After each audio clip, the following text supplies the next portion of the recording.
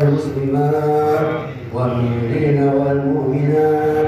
واستعينهم على ما عليهم واحفظ لنا انت ويا خير الناصرين برحمتك يا أرحم الراحمين.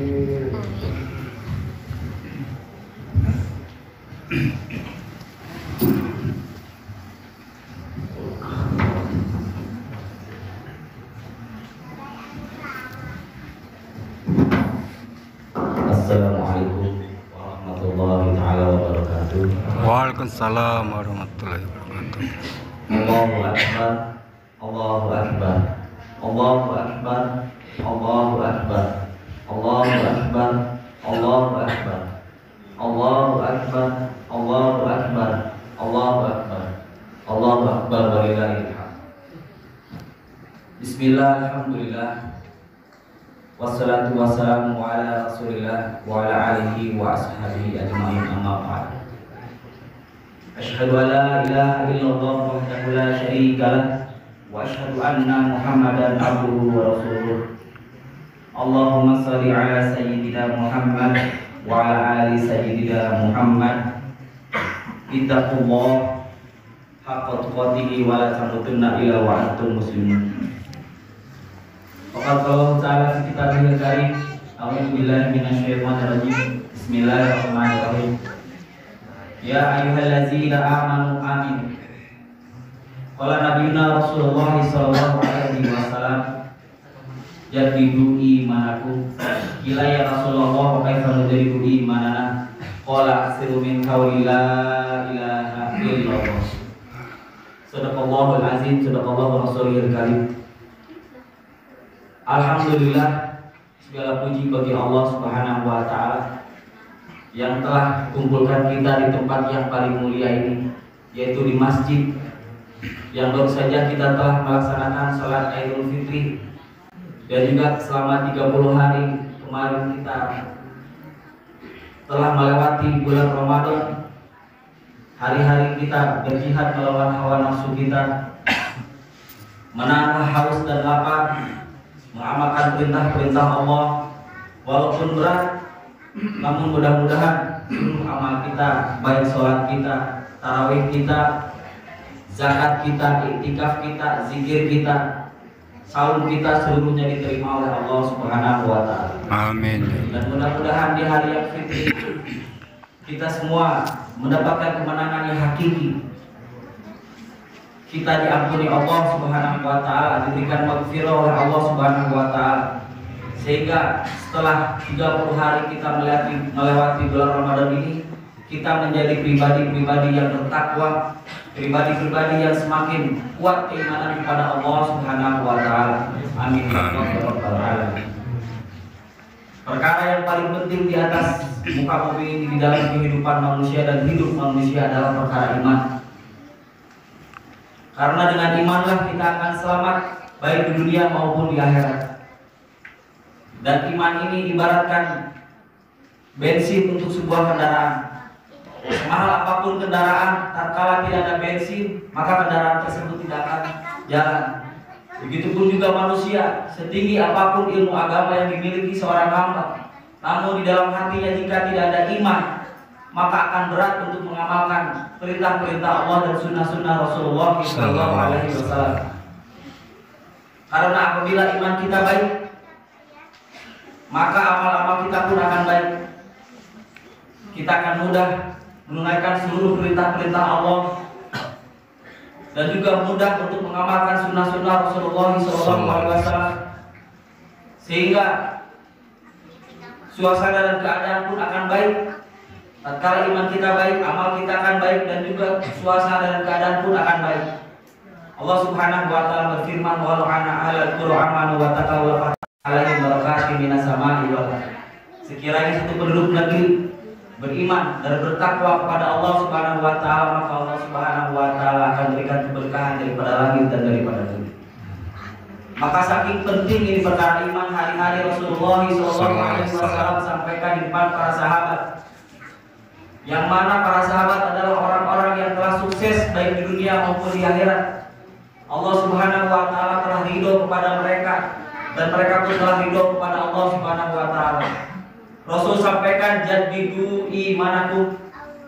Kira ya Rasulullah wa kaifa nujadidu imanana? Qala aksir min qauli la ilaha illallah. Rasul sampaikan perbaharui iman kalian, perbaharui iman kalian.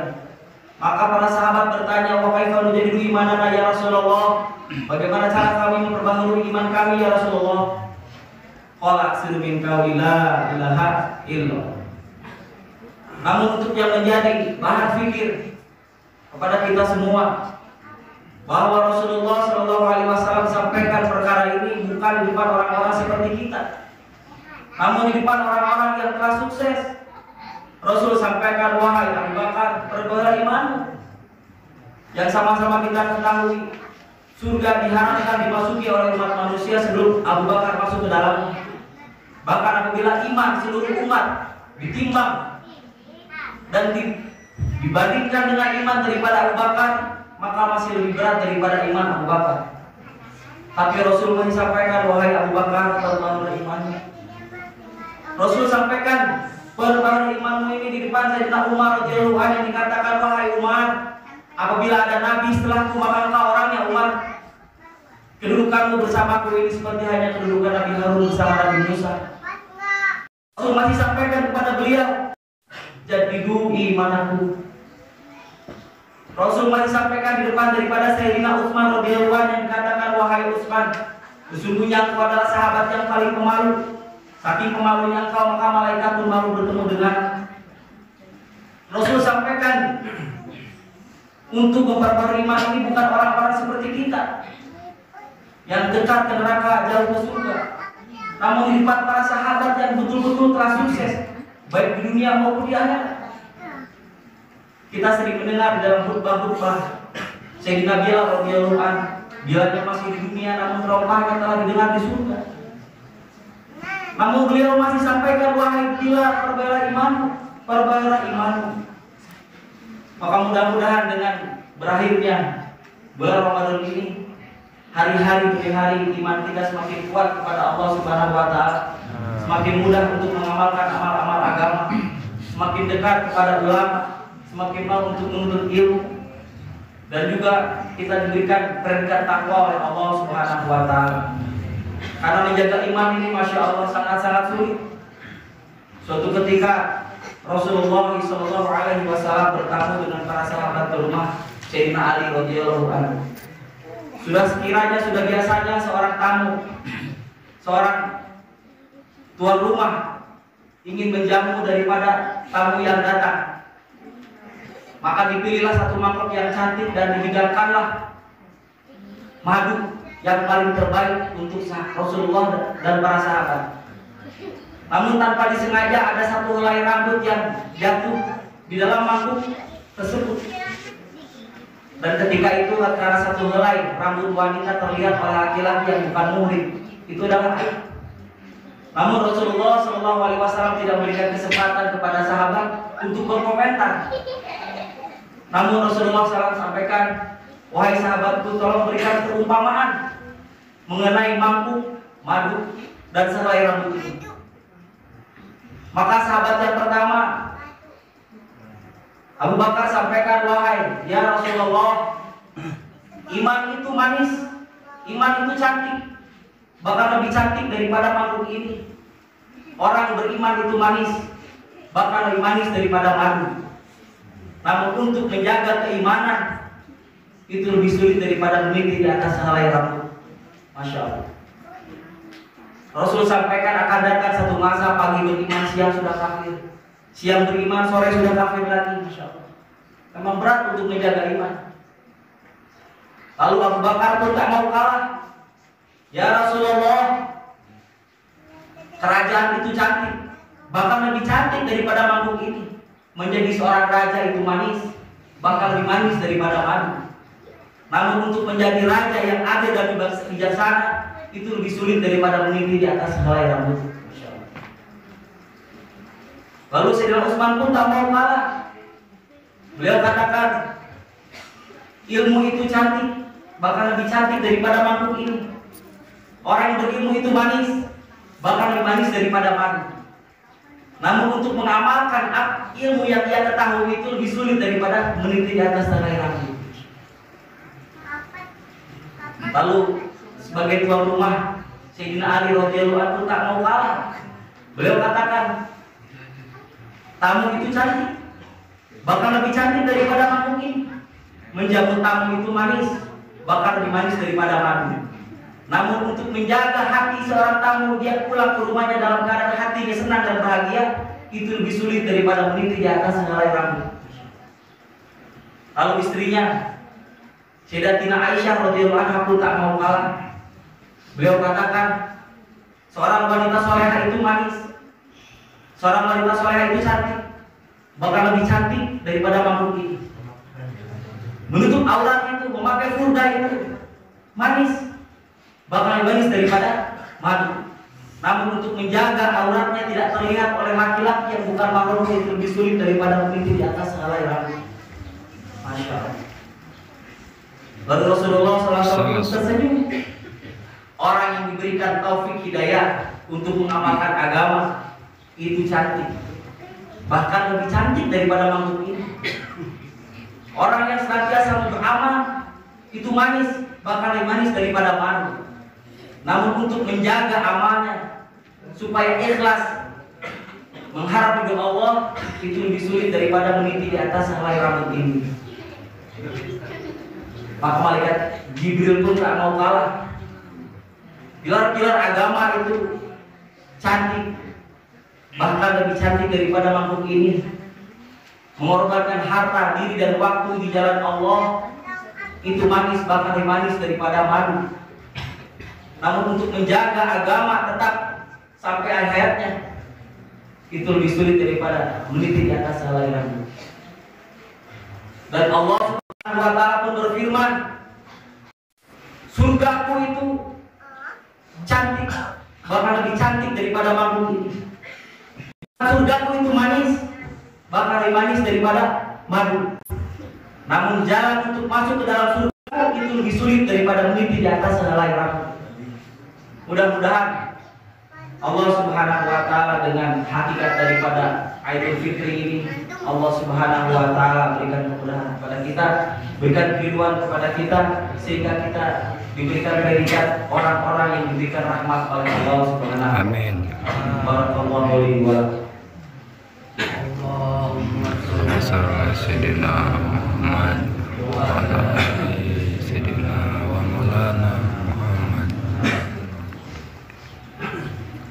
Allahu Akbar Allahu Akbar Allahu Akbar Allahu Akbar Allahu Akbar Allahu Akbar Allahu Akbar Bismillah, Alhamdulillah, wassalatu wassalamu ala rasulillah wa ala alihi wa ashabihi ajma'in amma ba'd Faqad qala Ta'ala fi kitabihil karim A'udzu billahi minasyaitonir rajim Bismillahirrahmanirrahim Innama ya'muru masajidallah man amana billahi wal yawmil akhir Qala Rasulullah sallallahu alaihi wasallam, "Idza ra'aitum rajulan ya'tadul masjid fashhadu lahu bil iman." Perkara yang terpenting kedua setelah iman adalah sholat. Karena amal yang pertama kali akan dihisab dari seorang hamba pada hari kiamat adalah sholat. Apabila baik sholatnya maka baik seluruh amalnya. Apabila buruk sholatnya maka buruk seluruh amalnya. Maka sholat yang baik itu seperti apa? Rasulullah SAW sampaikan sholat kama itu muni usolli. Sholatlah kalian seperti sebagaimana kalian melihat aku sholat. Sholat yang bagaimana yang baik? Sholat yang setelah beliau ini sholat, setelah seorang hamba ini sholat, maka dia membawa sifat-sifat ketaatan yang ada di dalam sholat, di dalam kehidupan sehari-hari. Itulah yang dikatakan menjadikan sholatnya baik. Inna sholat tanha anifasya wa munkar. Sehingga sholatnya tersebut bisa mencegah daripada perbuatan-perbuatan maksiat, bisa mencegah daripada perbuatan-perbuatan yang munkar.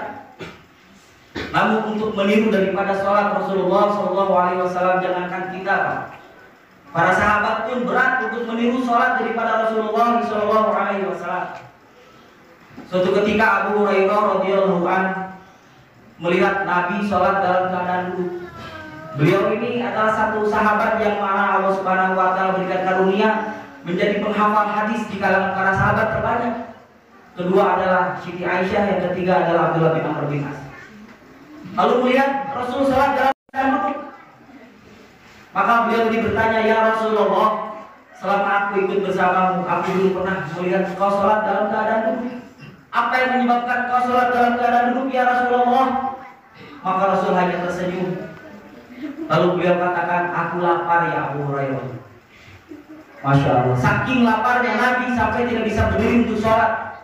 Saking laparnya Nabi sampai tidak bisa berdiri untuk sholat. Berbeda dengan kita Pak, termasuk saya berbicara. Kemarin tatkala azan berkumandang, tatkala hidangan makanan ada di depan mata, maka segera yang ada di depan mata ini dilahap sehingga lupa kepada sholat. Tatkala azan berkumandang diajak taraweh, diajak berjamaah sholat isya ataupun sholat maghrib, maka berat. Aduh, mangga lagi paling sudah nggak kene. Saking laparnya, saking kenyangnya umat akhir zaman sampai tidak bisa berdiri untuk sholat. Kalau Nabi saking laparnya Nabi sampai tidak bisa berdiri untuk sholat. Tapi umat akhir zaman saking kenyangnya sampai tidak bisa berdiri untuk sholat. Maka alim ulama tafsirkan sholat kama itu menyusul itu adalah tertib tempat, tertib cara dan tertib waktu. Caranya berjamaah, waktunya di awal waktu dan tempatnya di di masjid. Sehingga orang-orang yang senantiasa bisa menjaga sholat lima waktu di masjid, maka Allah Subhanahu wa taala menjamin orang tersebut hambanya tersebut dengan lima jaminan. Yang mana bila seorang hamba rajin ke masjid, itu pun Rasul sampaikan ciri daripada orang yang beriman. Maka kita jangan mengaku orang yang beriman, karena segala sesuatu ini ada cirinya. Nah ciri orang beriman ini kata Nabi Idza ru'aitu murujula ya'tadul masjid Idza ru'aitu murujula ya'tadul masjid fashhadu lahu bil iman Apabila kalian melihat seorang laki-laki pulang pergi ke masjid, saksikanlah dia ini orang yang beriman. Jadi kalau kita ini disebut predikat orang beriman, senanglah Pak untuk memakmurkan masjid. Senanglah untuk berlama-lama di masjid. Senanglah untuk cinta kepada masjid. Maka Allah Subhanahu wa taala akan berikan lima jaminan. Yang pertama Allah Subhanahu wa taala akan berikan akan keluarkan, akan hilangkan kesempitan-kesempitan di dalam hatinya diberkahkan rezekinya, dipanjangkan umurnya. Yang kedua Allah Subhanahu wa taala akan bebaskan daripada siksa kubur. Yang mana suatu ketika Rasulullah wasallam melihat kumpulan para sahabat sedang tertawa terbahak-bahak sehingga gigi para sahabat ini terlihat. Maka Rasul datang mendatangi dari para kumpulan para sahabat tersebut lalu beliau bersabda, "Wahai para sahabat, seandainya kalian mengetahui dahsyatnya siksa kubur, niscaya kau tidak akan pernah tersenyum lagi sampai hari kiamat.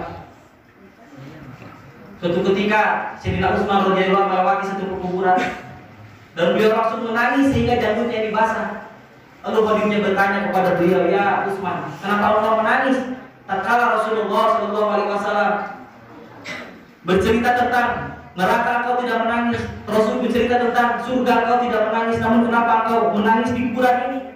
Maka beliau sampaikan sesungguhnya kubur adalah persinggahan pertama setelah kita hidup di dunia.